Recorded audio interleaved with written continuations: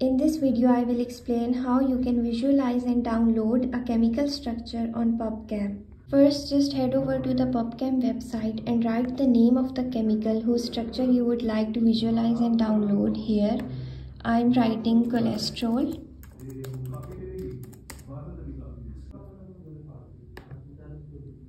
Then just scroll down till you see the canonical smiles of this structure. Then you will just copy the canonical smiles and head over to the home page of PubChem and click on draw structure. Then you will just paste the canonical smiles at the top section of this window and press enter from the keyboard. As you can see the PubChem will draw the structure for you. Now if you want to download this structure, you will just choose the file format in which you want to download the structure.